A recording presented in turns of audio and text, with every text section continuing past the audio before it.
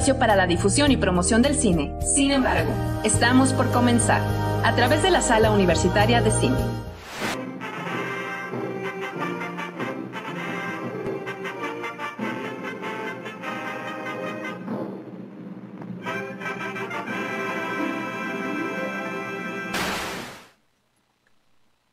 Hola, ¿qué tal? Muy buenas tardes. Bienvenidos a un episodio más de Sin embargo, el episodio final de este año 2021.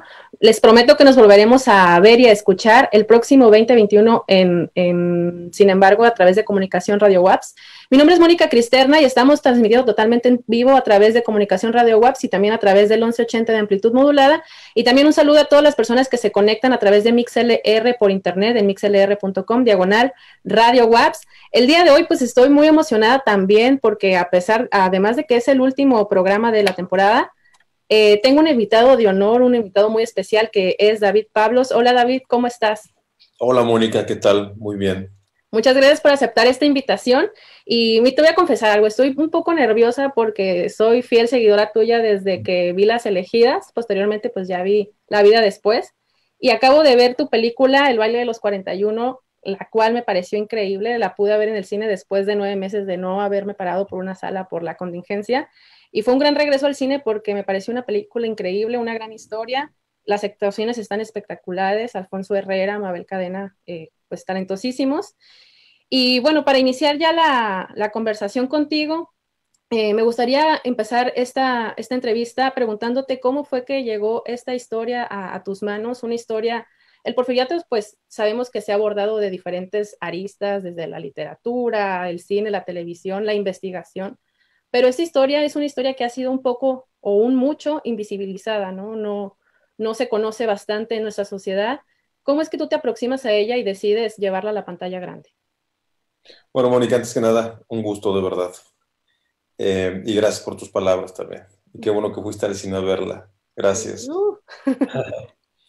Eh, ¿Cómo llega esta historia a mí? Mira, hay dos maneras de contarla. ¿Quieres la corta o la larga? La larga, tenemos tiempo. La larga. los detalles, los detalles. Yo, yo por primera vez me entero del baile de los 41 como a los 12, 13 años, porque en casa de un tío había una, él coleccionaba arte, tenía una muy amplia colección de arte, y tenía, había un artista, bueno, eh, son una pareja de artistas, Teodoro Torres y Susana Torres, que hacen eh, reproducciones como de, en maquetas eh, de escenas históricas mexicanas. Entonces mi tío les había comprado varias de estas obras y yo podía identificar cada maqueta, era una escena distinta de la historia de México. Eh, y hubo una que cuando llegué a ella dije, esta sí no sé qué es, qué es. Y la maqueta eran hombres vestidos de mujer con vestidos muy coloridos, bailando con otros hombres y los hombres que estaban vestidos de mujer eh, con bigotes y barbas, un policía entrando con, una macana y un hombre corriendo, que era Ignacio La Torre. Yo todas las escenas, estas maquetas eran, eran reproducciones históricas de, algún momento importante de México y hechas con figuritas de plomo, como de este tamaño más o menos. Y cuando llego a esta escena que era una representación del baile de los 41, pues no la reconocí, le pregunté a una tía qué era y ya me contó la historia y se me quedó muy grabada esta, esta escena, esta imagen. Y bueno, años después investigo, años después me vuelvo a topar con la historia, vuelvo a leer sobre el baile de los 41, hasta que una amiga mía, que es la guionista de la película, Mónica Revilla, ella me dice por ahí del 2016, eh, aunque creo que fue el 17, ya no lo sé, a mí las fechas son muy malas con las fechas, ella está escribiendo un documental sobre Porfirio Díaz y ha estado investigándolo y se topó con la historia del baile de los 41 y la obsesionó también y dijo, me gustaría escribir esto, ¿por qué no hacemos este proyecto? Y básicamente fue a partir de ahí que hicimos, digamos, dupla y que los dos nos estuvimos acompañando. Para mí fue muy importante tenerla a ella como aliada porque pues uno tiene muchas dudas en el proceso y luego se enfrenta a, levantar una película como esta es, complicado. Y el tenerla a ella fue, fue muy liberador, fue para mí como una gran, eh, eso, apoyo, soporte, para decir, bueno, pase lo que pase, tengo a alguien con quien puedo rebotar ideas, alguien con quien puedo hablar de, la producción y de lo que está pasando o no está pasando. Y, eso, como que tener a alguien desde muy al principio no estar yo solo, hizo que la carga fuera más ligera. Perfecto. Oye, y platícame un poco ahorita que mencionabas la producción, eh, todo este proceso de producción de, hacer una película histórica del siglo XIX, eh, cuéntanos cómo, cómo fue para ti realizar esta producción. Además que vemos que es, un, aparte de que es una gran producción, es una película que tiene, eh, pues por ejemplo, a mí me soy algo melómana, la música me llamó mucho la atención, que a pesar de que es música de época, es algo muy, muy actual, no tiene ciertos sonidos que, que, están pensados a llegar a, un público que no precisamente es, un público este, eh, mayor, ¿no? Sino es un público que más joven. Platícanos un poco sobre, sobre todas estas decisiones en la producción. Bueno, si quieres empiezo por la música, que fue lo último que mencionaste, eh, que además es lo último, o sea, es lo que vino hasta el final. Eh, hubo muchas decisiones de arte y de realización que digamos, giraron en torno a romper con la época de alguna manera, a no, a no acotarnos específicamente a vamos a retratar el siglo XIX y todo tiene que ser con estos modos y estas formas. Había una clara intención de romper, de romper con la época en ciertos momentos, sobre todo lo que tiene que ver con la intimidad de los personajes. Ahí queremos romper con, con los usos y costumbres, modernizarlo. O sea, porque yo le decía a Emiliano, a Mabel, a Alfonso, les decía que, bueno, una cosa es el ser humano en sociedad y donde las formas cambian, pero en la intimidad del ser humano es igual hoy y siempre. Em, y la parte pasional y la parte que tiene que ver con, con, las relaciones pueden desbordarse y pueden, pueden, digamos, darse rienda suelta en la habitación, en la intimidad. Entonces, había una, había una búsqueda de, de que por momentos la película se sintiera moderna en la intimidad de los personajes, mucho en el mundo de los 41, ahí también yo quería trascender la época, porque quería que se sintiera una libertad, que se respirara una fraternidad, una, una libertad dentro de la clandestinidad. Entonces, la música va por ahí también, la idea de vamos a, vamos a romper con lo que se espera de una película de época y no necesariamente vamos a hacer música clásica música romántica, que era la música de la época, eh, yo trabajé con dos músicos, Carla y John, que con él había trabajado antes. Desde mi corto titulación del CSC, la canción de los niños muertos, mm. Carlo ha sido mi compositor. Pero esta vez eh, tuvimos una aliada a una, una, compositora que se llama Andrea Valenci. Y hicieron ellos dos dupla porque yo quería que, que la música de la película tuviera una carga electrónica. O sea, yo, quise, yo quería hacer música electroacústica, justo por esto mismo, para romper con la época. Y Carlo es un gran compositor, y, pero él maneja muy bien el mundo clásico. Él no tiene experiencia en producción electrónica. Y Andrea sí, ahí fue donde Andrea, digamos, entró en, en, en, en la escena y se volvió aliada del proyecto. Entonces, era un constante diálogo entre ellos dos. Hay escenas de la película, casi toda la música de la película tiene la música, o sea, casi toda la música de la película tiene efectos electrónicos o producción electrónica. Hay, creo que son tres piezas en total, sí son tres piezas que son absolutamente electrónicas. Em, y, y, un poco también la idea, hay, hay, como un tema principal de la película, que es como el tema de amor de, de Alfonso y de Emiliano. Ese tema musical que se repite tres veces también en la película. Eh, es una composición como inspirada en la música romántica y es una pieza con piano y con un cello de fondo, pero con un montón de producción electrónica muy sutil, muy discreta. Hay una distorsión del cello, hay por ahí efectos electrónicos que entran en la pieza. Eh, la música del baile, el vals, que es para mí como la pieza más importante, es la pieza climática. Esa pieza, todo el inicio es absolutamente electrónico Luego ya entra una orquesta, una orquesta de cuerdas, que viene acompañada igual por una producción electrónica. Em, se mezclan chelos reales con chelos, digamos, producidos digitalmente. Eh, hay un montón de efectos electrónicos también a la mitad y al final. Entonces, eso, yo quería, yo quería digamos, modernizar la película con, con estos sonidos en el Club de Fumadores, la primera vez que entramos al Club de Fumadores, la primera parte la música es música diegética, o sea, música de la época. Suena una pieza de piano de un compositor mexicano. Y luego, ya cuando vemos a los 41 y la cámara va merodeando por el espacio, ahí es totalmente electrónico. La primera vez que Baristo entra a esta casa segura donde sucede la iniciación, es electrónico. Y toda la pieza de cuando los hombres están vistiéndose de mujer es totalmente electrónico.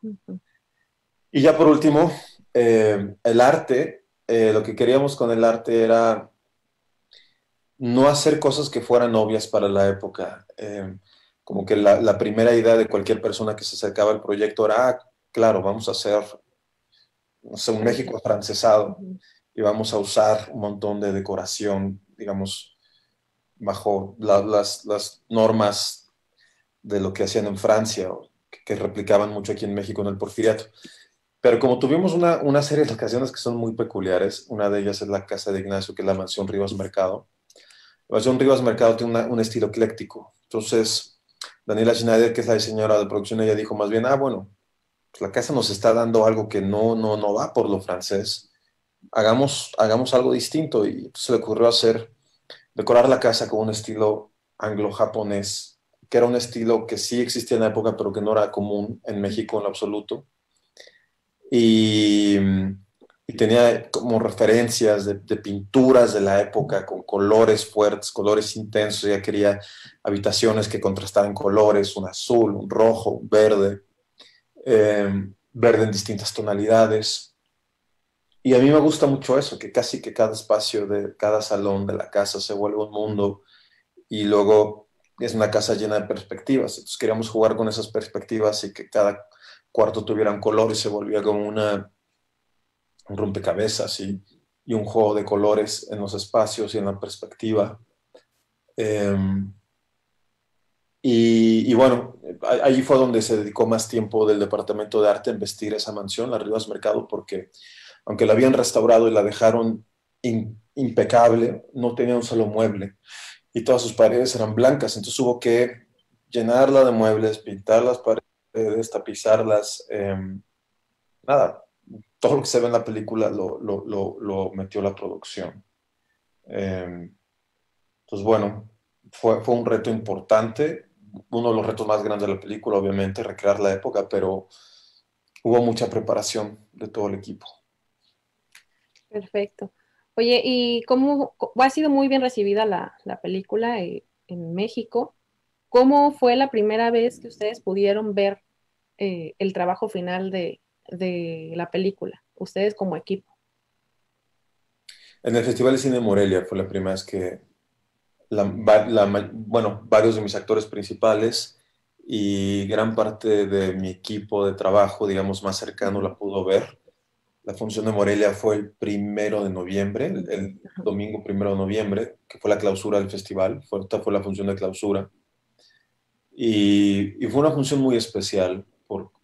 Una, por esto, porque estaba gran parte del equipo técnico y de los actores presentes. Dos, pues porque fue la primera función, que eso siempre le da un, un aire muy especial. Y para mí fue muy bello compartir esta película con, con mis actores. Yo estaba con, sentado al lado de Alfonso. Tenía Alfonso al lado izquierdo, del, lado derecho Mabel, cadena. Y al lado de Mabel estaba Emiliano. Entonces, eh, Alfonso había visto la película, pero no había visto la versión final. O sea, no había visto, no había visto la película ya con corrección de color, con diseño sonoro, con música original, con VFX, con todo. O sea, él había visto la, la, versión desnuda de la película en una copia de trabajo. Y Mabel y Emiliano no habían visto nada. El resto de los actores tampoco había visto absolutamente nada. Entonces, Mabel reaccionó de manera muy intensa. Mabel se volvió una, era una montaña rusa de emociones y Mabel estaba llorando y riéndose al mismo tiempo. Fue muy, fue muy emotivo para mí verla a ella y, Emiliano estaba también muy en shock de verla por primera vez, Alfonso igual, pese que la había visto, le sorprendió verla, la película ya bien acabada, entonces fue, fue un momento muy entrañable, muy, muy entrañable. Y hay una foto que, que nos tomaron, a, después de la función, todavía estamos en la sala en el Festival de Morelia, que estamos Alfonso Mabel, Emiliano y yo abrazados. Y esa foto para mí sintetiza lo que fue el, proceso de hacer esta película. Creo que esa foto retrata la, la relación que generamos, el equipo que, que creamos. Perfecto.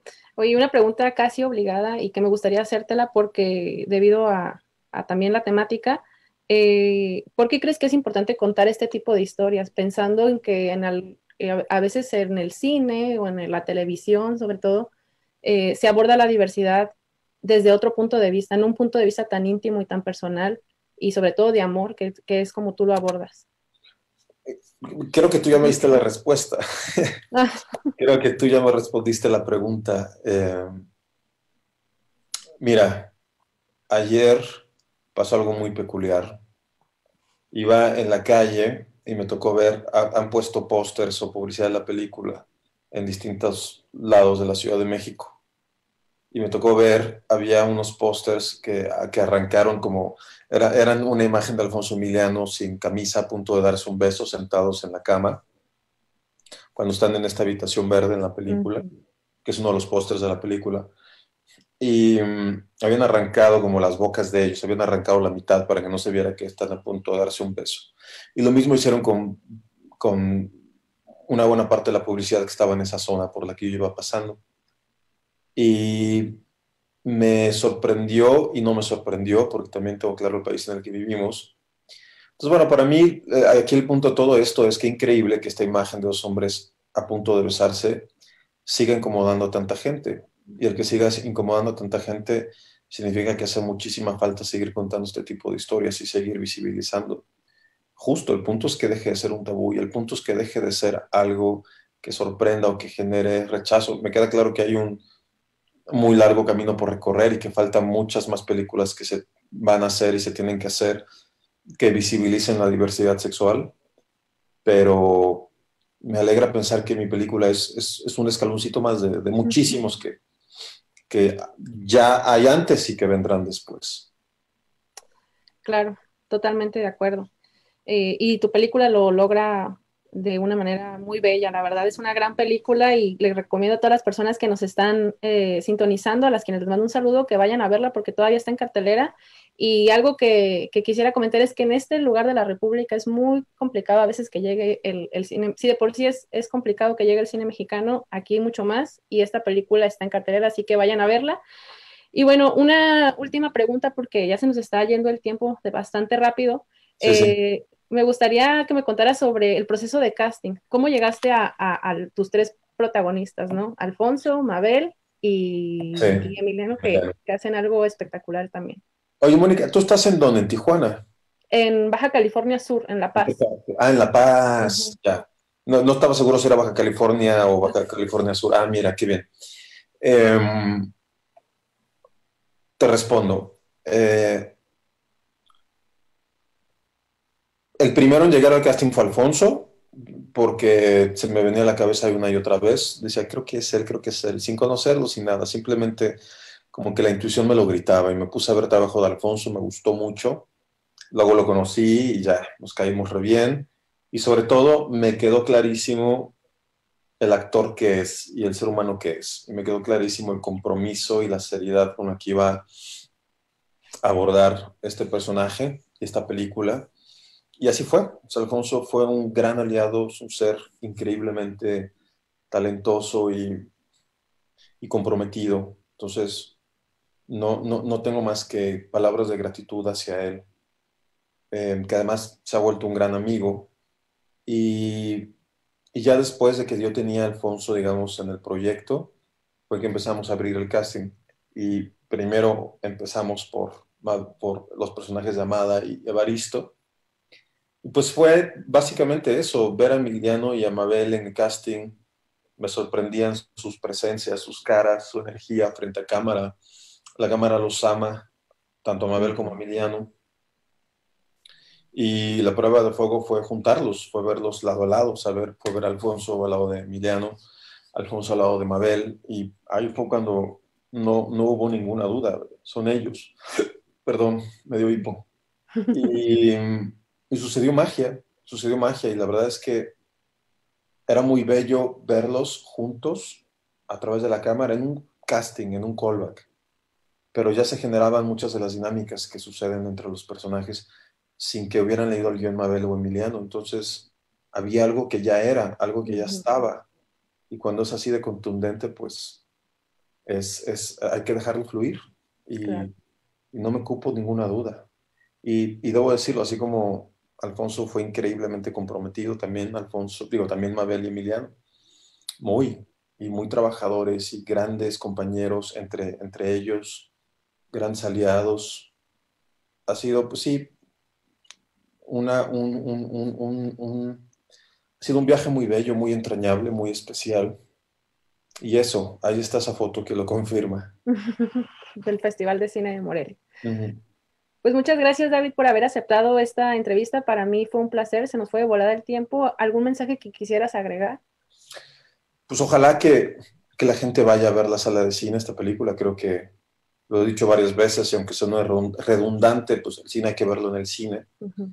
Y esta película creo que vale la pena verla en pantalla grande, creo que crece en pantalla grande, creo que es mucho más contundente la experiencia de ver esta película, si, si, si se ve en el cine. Em, y ojalá que se animen, obviamente con todas las medidas de seguridad, los cines están haciendo bien su trabajo y, y que le den la oportunidad de, de, de verla en pantalla grande.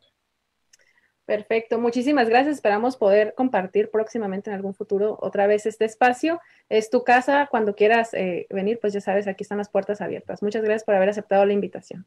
Gracias, Mónica, un placer. Un placer. Y bueno, cinéfilos, hemos llegado al final de este episodio de Sin embargo. Muchas gracias por haberse conectado con nosotros durante todo este semestre. Nos esperamos poder estarnos conectando con ustedes el próximo año. Les deseo un buen fin de año, sobre todo con mucho cine. Muchas gracias. Radio WAPS 1180 AM.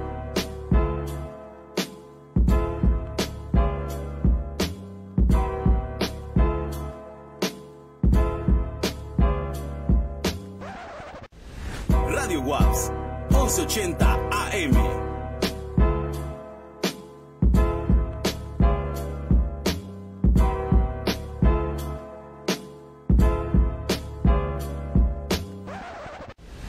Radio WAPS 1180 AM.